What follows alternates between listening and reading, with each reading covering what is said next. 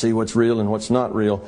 Anyway, um, there are lots of reality frames, but this reality frame where that's near to or interacts with the earth frame, that's what most people think of as the non-physical. You know, that's where the dead people are, right? They're in the non-physical. They're in the spiritual realm. Well, that's also a virtual reality. That's not the fundamental reality either. That's just another virtual reality.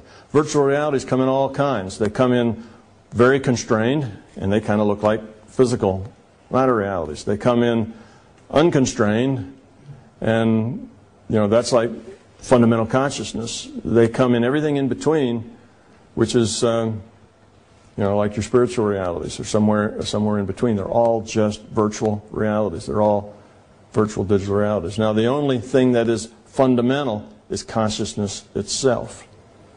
Okay? Origins. Where did it all come from? Okay. When you um, try to describe what something comes from, you get in this uh, endless regression that says, you know, well, came from here. Well, then where did that come from? Well, that came from here. Well, where did that come from? Of course, this goes on to infinity. There's an infinite number of those, and you can't really get to the end of that because our knowledge is limited. There's certain limits to our knowledge. We can't know everything. There's some scientists who get uh, upset at that thought, but we can't know everything. And I'll give you a, a real obvious example. Think of a um, bacterium living inside your stomach. Okay? A very, very smart bacterium living inside your stomach. Has an IQ of 200. Brilliant bacterium. Okay, now what does that bacterium think about food? Manna from heaven, right? Food just comes. I mean, that's what bacteria do. They decompose food. That's their thing. So they need food. And uh, what do you think they understand about, you know, plows and fields and farmers and horses and cows and trucks and buses and refrigerators and supermarkets and sunshine and rain and all this sort of stuff? What do you think that bacterium knows about those things? Nothing. What could it know about those things? Nothing, even if it was brilliant. Why? Because it's in a subsystem. It can't get out into the super system. It can't get out into the larger system. Why not? Because it's limited to the subsystem. And if you're in the subsystem, you just can't understand what's in that super system. Now, does that mean that super system is just irrelevant? Doesn't matter? Like the scientists that might say, well, that stuff, you know, it really doesn't matter. If we can't compute it, then it's just irrelevant. Doesn't matter. Well, all that stuff is not irrelevant to that bacterium because what food goes down to that bacterium is very dependent on the rain and the sunshine and the refrigerators and the grocery stores and all that stuff. It just doesn't know. But it is very dependent on that. It affects it tremendously. But it can't know. We're in the same boat. There's things that we just can't know. We can't get there unless we go there. If you can't go there, then you just don't know. And all manner of intellectualizing about it isn't going to get you there. You have to go there. Okay, we do this this very much, uh, we treat this very much the way biology treats uh, origins of, of uh, beginning evolution here. Okay, they, they say, you know, you have to get to conjecture once you get past your limits of knowing.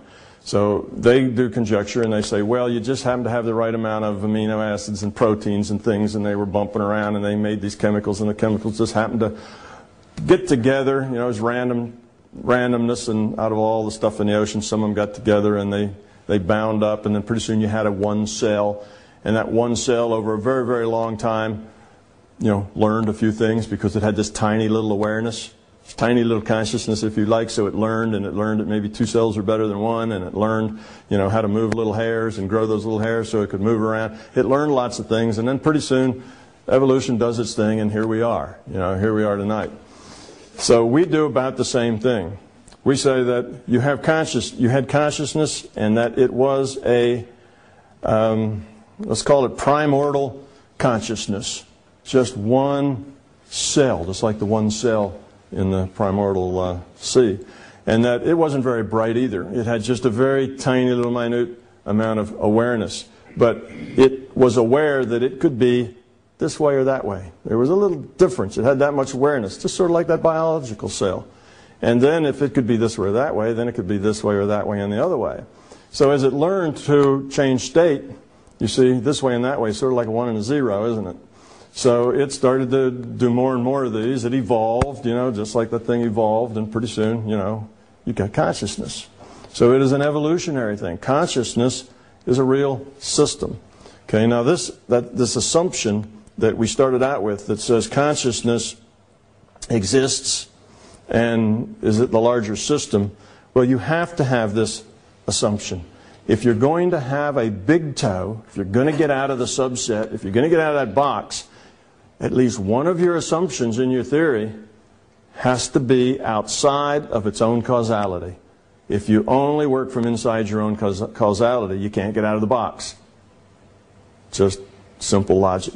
Can't do it. So this assumption is our one assumption that gets us out of the box. Our other single assumption is that evolution exists.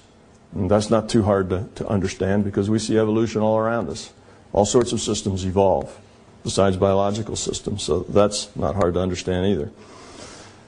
Okay, um, so the bottom line there is that this assumption that is kind of the leap, this, this big leap of faith, one, it's right up to the doorway where Einstein went and a lot of other very, very smart people and said, it's got to do something, you know, it has to have something to do with consciousness, and we know it's not continuous, you know, but we just don't know what it is. And then we have Fredkin and others talking about the digital reality, and so you can see where science is getting right to the door, but they can't open the door because to understand consciousness, you have to experience it. It's a personal thing. It's not something you can do objectively. So that's why they got stuck. Okay, so we need this assumption. The fact that we have this one assumption that's not objective isn't like, oh, damn, you know, bad physics. It's like, it's necessary. It wouldn't be a Big TOE without this assumption. Okay. All right, results, some summaries. I'll go over these quickly. The larger conscious system is an aware, evolving system. It's real and therefore finite. Finite. Many of you think of consciousness as infinite. It's a finite system. All real systems are finite. Infinite systems have to have infinite energy, have have infinite capacity, and have all these infinite things. They're not real. But infinite is kind of a state of uh, comparison, really. If you're floating in an a tube in the middle of the Pacific Ocean, you look around you, the ocean looks infinite. And after floating around for a week, you're sure it's infinite. But it's not. It's just big compared to you. And that's the way consciousness is not an infinite system, it's a real system. It's finite. Okay, consciousness evolves by lowering its entropy. The larger consciousness system increases its rate of evolution by subdividing portions into itself into smaller units that interact with each other. We are an individuated unit of consciousness, a chip off the old block, one with all that is. Consciousness is it. We're pieces of consciousness. We're one with all that is. Everything is connected. Everybody is connected. Every consciousness entity is connected. Okay? That's because we're all subsets of one thing, one consciousness. Okay? Physical reality is a virtual reality learning lab designed to help budding individuated units of consciousness, called an entity, which is what we are, evolve. That means lower their entropy through experience. Continue the summary. Lowering entropy by improving the organizational uh, profitability of accumulated experience increases the energy, the power, the information available to that evolving entity. Okay, think about that. Remember, entropy says lower or you greater, you know, lower uh, randomness, greater organization. But at the same time, that means